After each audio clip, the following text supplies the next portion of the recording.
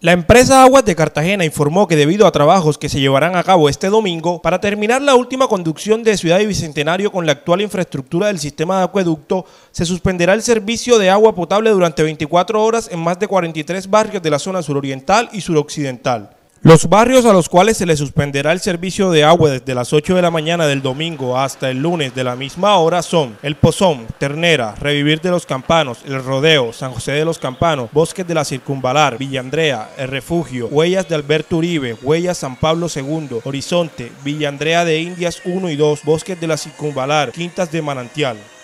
De igual manera, se suspenderá el servicio en los barrios Bicentenario, Villas de Aranjuez, Flor del Campo, Colombiatón, Portal de la Cordialidad, Brisas de la Cordialidad, India Catalina, Villa Suldani, Villa Estela, Villas de la Candelaria, La Carolina, Portal del Terminal, El Refugio de la Carolina, Llano Verde, Simón Bolívar, Medellín, La Princesa, Beirut, Villa Concha, Villa del Sol, Valencia, Comercios Doña Manuela, la Terminal de Transportes y la Cárcel de Ternera.